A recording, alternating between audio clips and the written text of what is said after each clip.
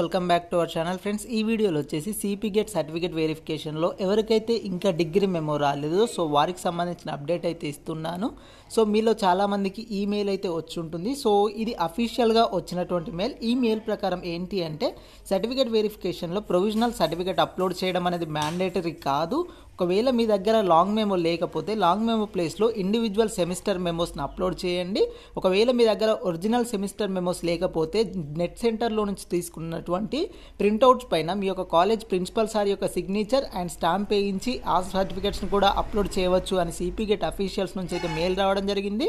So ఇంకా degree memos ఎవరికైతే రాలేవో మీరు నెట్ సెంటర్ నుంచి మీ యొక్క ఇండివిజువల్ అన్ని సెమిస్టర్స్ మెమోస్ డౌన్లోడ్ చేసుకొని వాటిపైన మీ యొక్క కాలేజ్ యొక్క ప్రిన్సిపల్ సిగ్నేచర్ అండ్ స్టాంప్ వేయించి వాటిని మీరు అప్లోడ్ చేయవచ్చని అఫీషియల్గా వచ్చినటువంటి mail box so you can upload now ఎలా అప్లోడ్ చేయాలి? సర్టిఫికేట్ వెరిఫికేషన్లో ఎలా పార్టిసిపేట్ చేయాలి అనేది నేను ఆల్రెడీ క్లియర్గా వీడియోస్ చేశాను.